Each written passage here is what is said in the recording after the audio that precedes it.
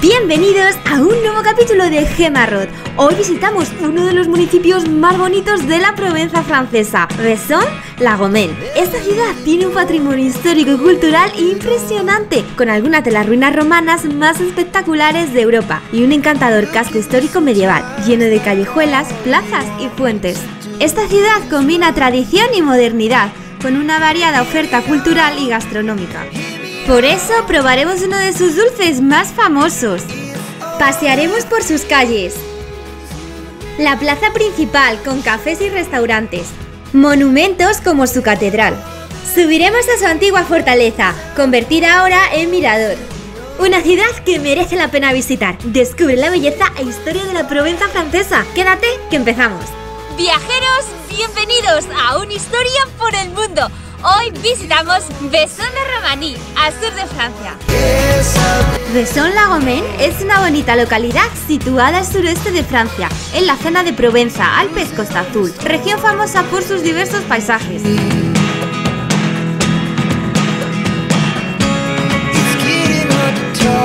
La ciudad se puede visitar en un solo día. Yo hice el trayecto desde Orange, otro imperdible, a tan solo 30 kilómetros. Es el punto más cercano. El precio del bus es de 3 euros el trayecto. Tardas alrededor de una hora y cuarto, ya que pasa por otros pueblos de camino. En coche tardas media hora.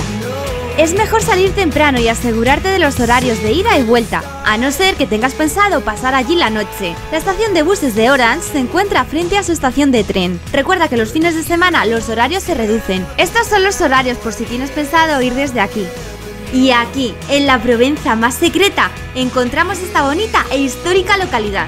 Vemos su puente romano, que diferencia las dos partes de la ciudad. Es monumento histórico y data del siglo I después de Cristo. Une la ciudad baja, zona moderna, con la ciudad medieval. Por aquí cruzan tanto peatones como coches y por debajo pasa el río Ubez.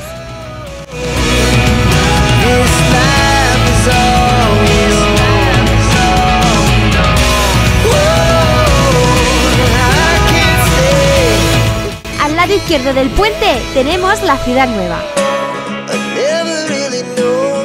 Y enfrente la antigua ciudad. Que desde fuera se ve así.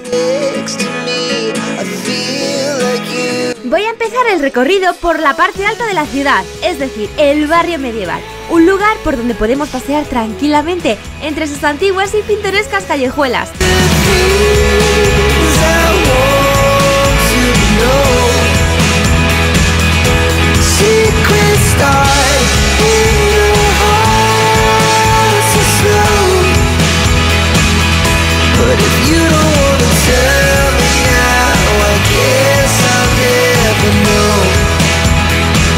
Y pasar por plazas con puentes del siglo XVIII que conservan su encanto histórico.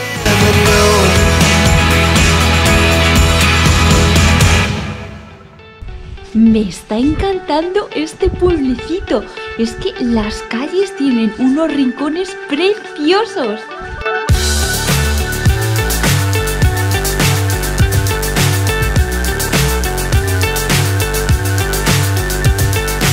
También es posible pasar una noche aquí, en esta zona de la ciudad.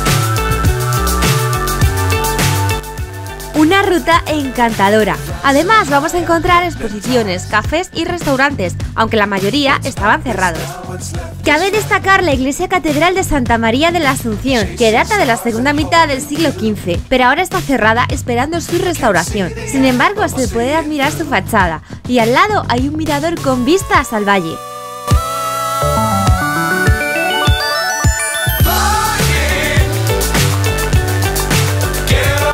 Barrio se organiza en torno al antiguo castillo. Estas escaleras conducen a él. Aunque había un camino mucho más sencillo, yo subí por el difícil. Y este era el camino fácil. Data del siglo XII. Fue ordenado construir por el conde de Toulouse. Se encuentra en lo más alto de la ciudad y tuvo función militar. Más tarde pasó a ser parte de la iglesia. Hoy solo quedan sus ruinas y no se puede visitar.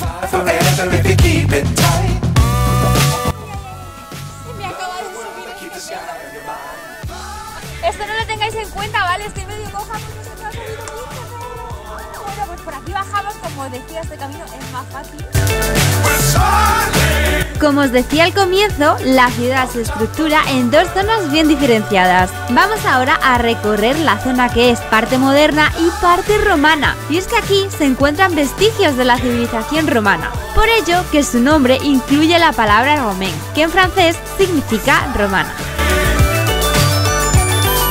Caminando por las calles de Besón, llegamos a su plaza principal, donde es muy común que los locales y turistas se reúnan en las cafeterías y restaurantes a disfrutar del buen tiempo. Un detalle que me resultó curioso es que todas las terrazas de la plaza están colocadas solo en la parte en la que da el sol.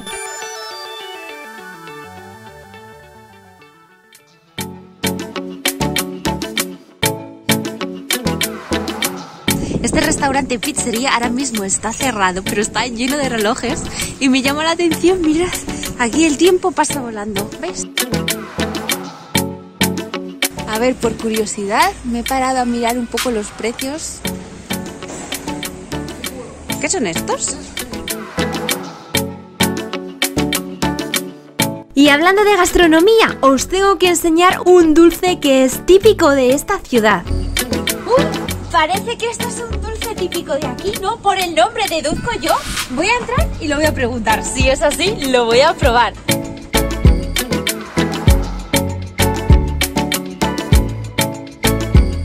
Qué fuerte, aquí tengo mi dulce. He entrado a preguntar y me han dicho que sí, que es algo típico de aquí. Y he preguntado también cómo se pronuncia, porque yo leo romaín, pero se dice gomaín, ¿eh? Gomaín. Así que voy a probar mi gomaín. que me ha costado 2,95 euros este trozo de, de trenza de hojaldre, podría decir. Está relleno de algo, de una pasta. Vamos a ver cómo está esto.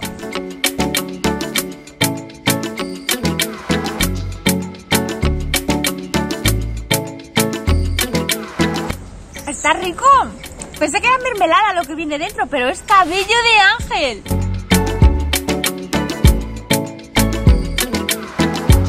Otra de las cosas que me llamó la atención es que en varias calles y esquinas tienen libros para adoptar, es decir, los puedes coger y también puedes dejar tuyos. Una buena idea para fomentar la lectura. Están colocados en lugares estratégicos. Eso sí, los encontrarás en francés.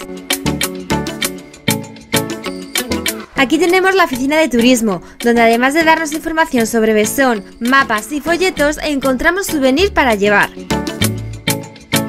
Os comento que de 12 a 2 la oficina de turismo está cerrada.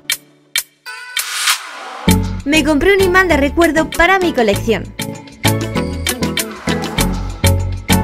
Enfrente de la oficina tenemos este parking donde hay baños públicos, son gratis y tienen acceso para minusválidos. Al lado de la oficina de turismo encontramos el Museo y Yacimientos Arqueológicos de la era romana. Lamentablemente estaba cerrado. Más tarde me enteré que durante el mes de enero no abre. Así que aquí os dejo las tarifas y horarios. Os enseño lo que se ve desde fuera. Dentro se encuentra el anfiteatro romano, uno de los monumentos que más ganas tenía de ver.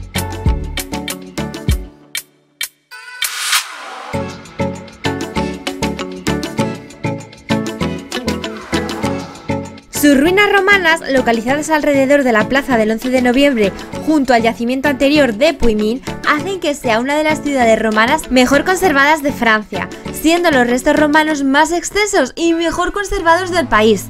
Esta antigua ciudad es conocida como la Pompeya francesa. Aquí se encuentran restos de villas de las familias más nobles de la ciudad, o el foro romano, entre otros. También está cerrado durante el mes de enero. Llegamos a la iglesia de Notre Dame de Nazaret, data del siglo XI y en su interior hay un claustro. Pertenece a la diócesis de Besón.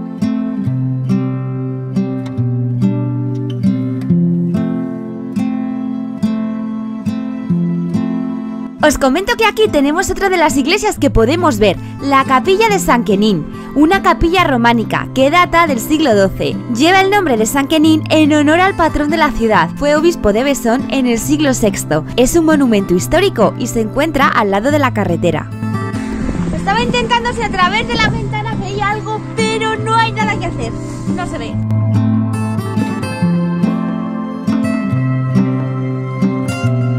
Antes de finalizar este recorrido os quiero enseñar un lugar que descubrí y está chulísimo. Se encuentra en lo alto de una pequeña colina. En la colina de Susaus, Justo encima del río Ubés hay una estatua negra de la Virgen María. Originalmente esta estatua estaba hecha de mármol, pero un terrible rayo la destruyó en 1916. Más tarde fue reconstruida en metal y pintada de negro para ser más visible. Y tengo que deciros que desde aquí se ven unos atardeceres muy bonitos.